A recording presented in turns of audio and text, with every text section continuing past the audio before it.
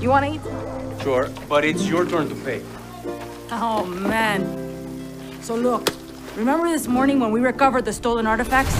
Those guys might have noticed me. Things got a little heated. Then there was that beautiful moment. Me making my escape.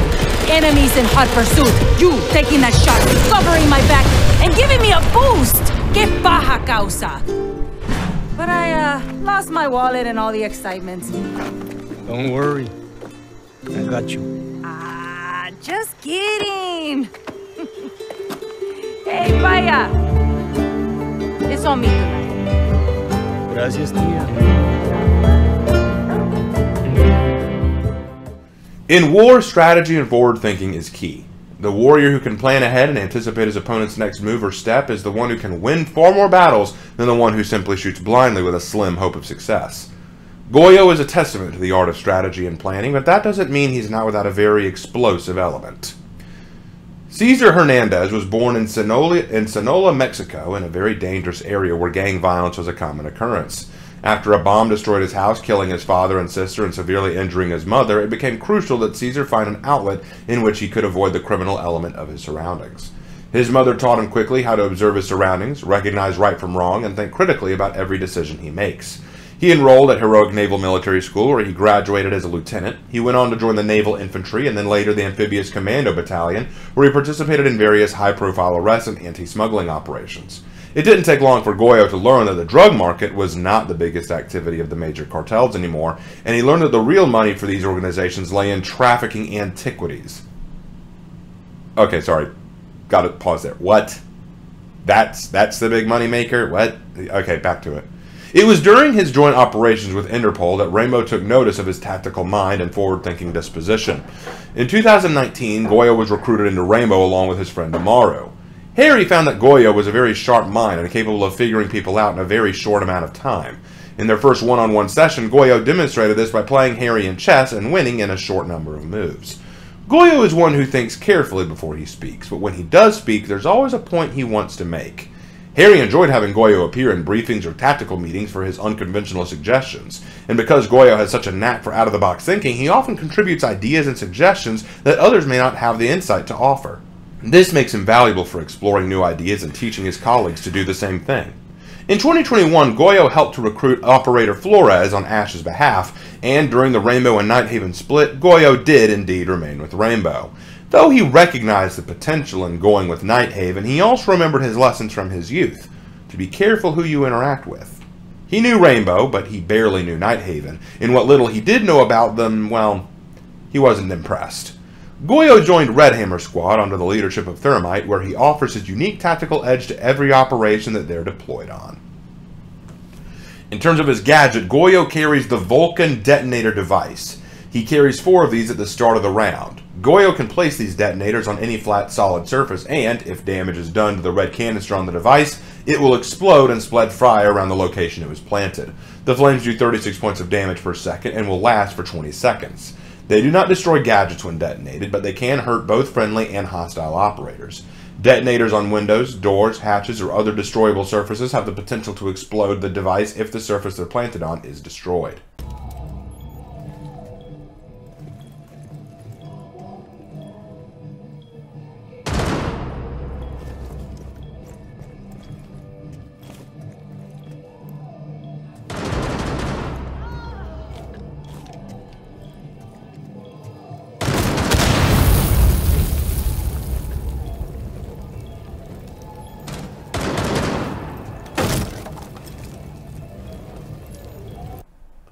In terms of loadout, Goyo carries two primary weapons and one secondary weapon into battle.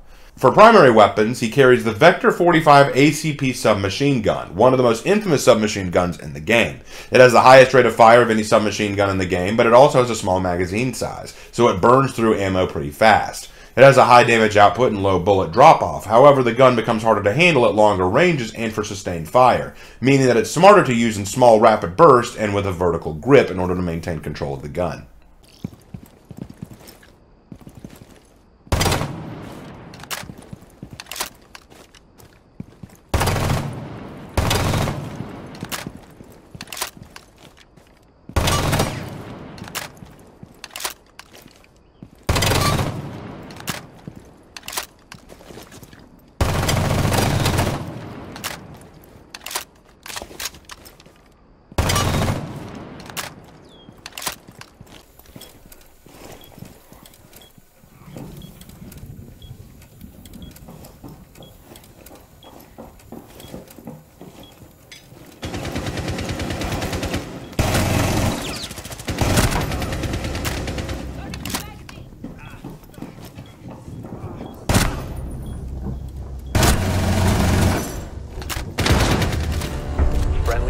Next is the TCS G12 shotgun. It's a lot like the Boss G that Dokkaebi has in that it fires a single slug and is effective at longer ranges. It has incredible high damage per shot and can down any operator in about two blows. It does have a strong kick, but the spread is marginal. It simply suffers from a low magazine capacity, meaning that careful aim is crucial with this shotgun. In some ways, I'd compare it to a marksman rifle that just fires slugs.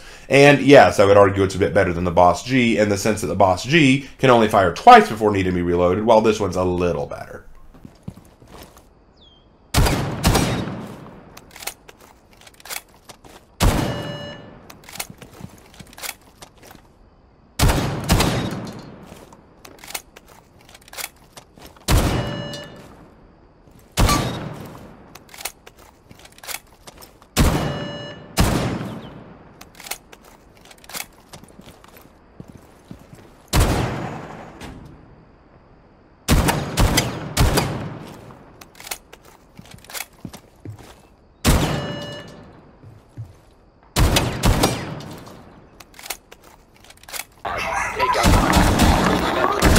And then for sidearms, the P229 is one you may already be familiar with, as we talked about its close brother, the P229 MK25. And that was Mute's gun, if you'll remember. But there are a few marginal differences. It has a pretty solid damage output, but with a laughable magazine capacity to compensate. And with only four full magazines to use in game, that can make it seem a little lackluster. But its tight firing capability and low recoil make it a very viable handgun. But besides that, it's the only one that Goyo can use, so, I mean, I wouldn't diss it.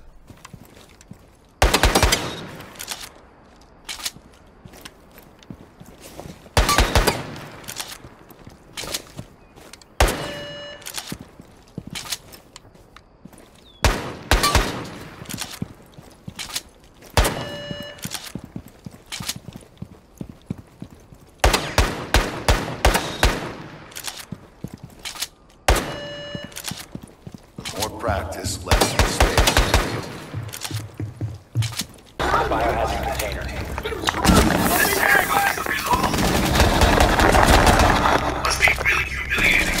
When using Goyo, it's, well, alright, I'll be clear. Goyo is difficult to use, I'm afraid. His guns are fine, but his gadget requires careful planning and consideration. I personally like to plant the Vulcans on doors and entryways because if the doors are destroyed, then the Vulcan can do fast damage to the enemy on the other side and deny their entry.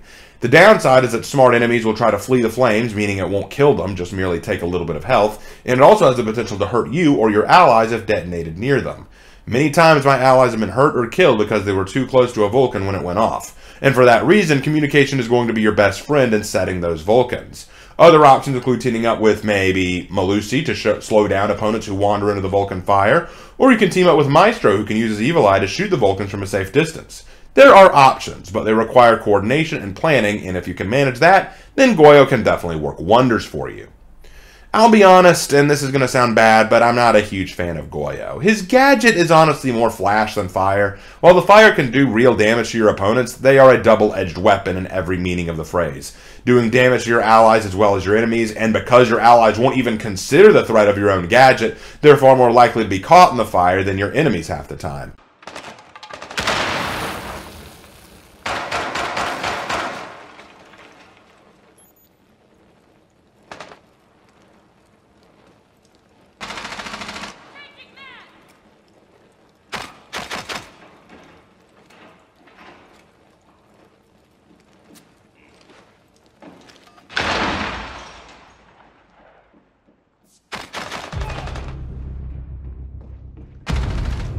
Friendly is victorious. Hot and unless stopped by something, Goyo's fire is easily escapable, not killing anyone. His guns are fine, but I wouldn't say they're anything too special. The Vector does have a high rate of fire, but for someone like me with a bad aiming ability, it's not my go-to weapon. His shotgun is incredible, but again, I'm not very good with it. I have more luck with his handgun. And again, people would argue, well, that's just because you're casual. People who are good at the game will get more uh, get more good stuff out of these weapons. And for sure, I agree with that. But by that logic, they could get something good out of any weapon that they're given. And as for the lore, it's fine, I guess. It's just not very engaging. I like the idea of a forward thinking individual who looks outside the box for new ideas and ways of approaching problems, but I mean, there are questions I have, and the biggest one is his lore says he discovered the antiquities trafficking ring, trafficking ring as a big money making thing for the cartels, and I'm like, Really? So it's not sex trafficking, human trafficking, drug dealing, gun running, or any of that stuff? It's none of that. It's selling antiquities and antiques? Um, okay. Is it because your teammate is Amaru and she's like an archaeologist or something? I, man, I don't, I don't get that. Look, I just feel as if Goyo's story is lacking. It's nothing terrible, but it feels convenient and a little underwhelming.